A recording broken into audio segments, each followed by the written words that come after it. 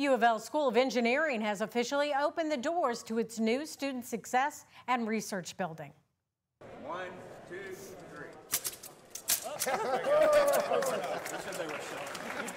The 114,000 square foot center stands four stories tall within the J.B. Speed School of Engineering's home on Eastern Parkway.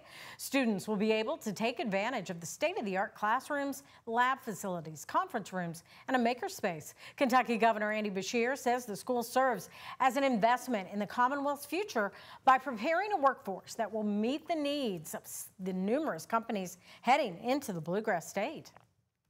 Well, this is going to help us continue our record-breaking economic development streak. When you look at companies like Ford investing 2 billion, GE investing 3 billion across uh, all their facilities, Apple putting another two and a half into Corning here, it means we need high qualified engineers as part of our workforce. This is an investment in creating that workforce. It's how we're going to meet the moment and continue to bring in company after company after company. The center's design comes from Luckett and Farley and Smith Group, with Whittenberg Construction serving as the general contractor. The Speed School first announced its development back in February of 2024.